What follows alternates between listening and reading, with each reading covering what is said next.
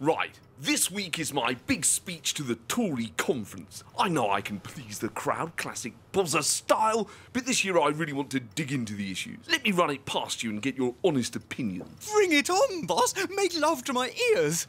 Hello, Manchester. Pause for applause. the centrepiece of our programme is levelling up. Good.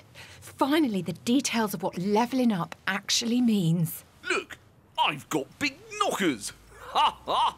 Oh, if these were real, I'd never leave the house. That will definitely play in the Shires, but what about the economy? Oh, I've got that. We shall turbocharge the economy, no strings attached. Very good. Yes. But exactly how will we?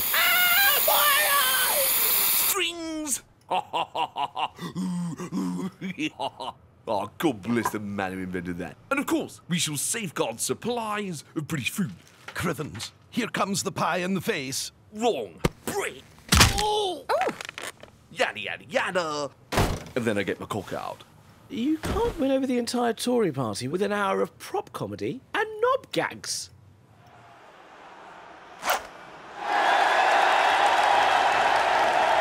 God, politics is easy.